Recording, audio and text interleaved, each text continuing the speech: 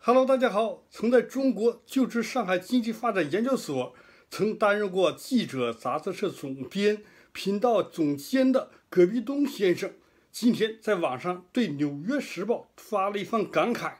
他说：“《纽约时报》对神韵的大报道，看后就知道该报是何物了。”他指出，《纽约时报》没有任何的阅读和参考价值。葛碧东先生谈到：“我一直听说《纽约时报》对神韵做了一年的调查，要出大文章，所以我想他们也许会拿出一点我们没有听说过的惊天动地的大消息。”最后看了他们的报道，说来说去还是那么一点屁事。葛碧东只问说：“谋杀了？强奸了？有明确证据的虐待了？”你倒说几件犯罪嫌疑的事出来，或者暗示干了什么违反美国法律的事情，洋洋万言，好像找不到一句有分量的指责。说谎造谣要惹官司的，如果这种事情有价值，那么美国没有一所学校不可以写那么长，或者比他更多的系列文章了。如果这些都是罪状，那么美国差不多所有左派学校都可以被起诉了。葛碧东先生非常鄙视《纽约时报》，他说：“《纽约时报》算个什么东西？我清楚的很。还记得他们写的《给社会主义一个机会》，共产党是怎么引导中国走向成功的这些文章吗？”这是我截图给大家看过的。二零二零年，我报道过《纽约时报》把禁止武汉病毒流入美国实施旅行禁令，称为对中国人的种族歧视，这口气比《人民日报》还扭曲。同一年，我截图了他们一周的报道：周一骂美国霸权主义，周二骂川普。周六、周日报道自由世界如何混乱，周三、周五赞扬中共，周四报道习近平接见革命群众。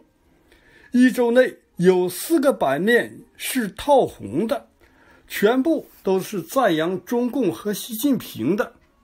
我的脸书上也可以找到截图证据。他还发文章痛骂普世价值。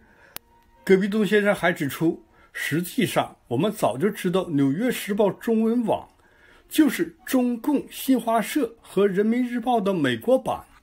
这样的媒体存在，其实是美国的耻辱。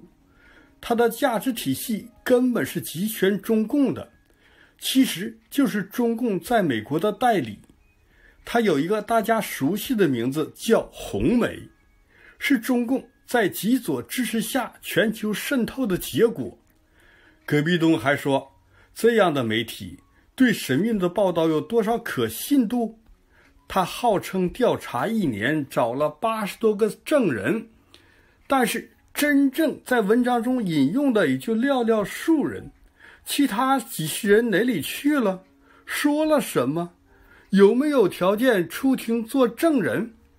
葛碧东先生还风趣地说。《纽约时报》没报道之前，我还真以为神韵出了大问题，为法轮功担忧。《纽约时报》报道一出来，我从头到尾看了两遍，不就是那些鸡毛蒜皮的事吗？在任何团体中，都可以找出比他更多的不满者。关键是这些事情足以判为犯罪吗？连败坏名誉都做不到，最多就是引发一些不明真相，或者中共网军骂几句，可笑。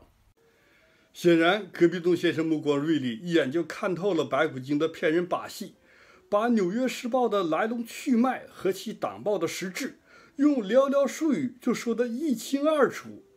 这下，《纽约时报》用一年多的时间的造谣全泡汤了。